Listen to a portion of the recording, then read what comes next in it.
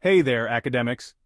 Today, I'm going to delve into the fascinating world of mixed methods research, specifically the exploratory design. This approach is sequential and begins with qualitative data collection. Let's break it down. First up, the initial qualitative phase. This phase is all about diving deep into the phenomenon you're studying. You start by collecting qualitative data, think interviews, focus groups, or open-ended surveys. The goal here is to get detailed insights and generate hypotheses based on your findings. It's like laying the groundwork for what comes next. Once you've gathered your qualitative data and formulated your hypotheses, it's time to move on to the subsequent quantitative phase. In this phase, you test or generalize those initial insights using quantitative methods. This could involve structured surveys, experiments, or statistical analysis.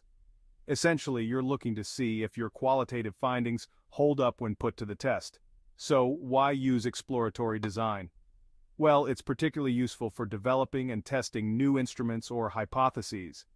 By starting with qualitative insights, you get a richer, more nuanced understanding of your subject. Then, by following up with quantitative methods, you can validate and generalize those insights to a larger population. In summary, the exploratory design of mixed methods Research is a powerful tool. It allows you to explore a phenomenon in depth with qualitative methods, and then test your hypotheses with quantitative methods. This sequential approach not only strengthens your research but also provides a comprehensive understanding of your study topic. That's it for today. If you found this video helpful, don't forget to like and subscribe for more academic insights. See you next time.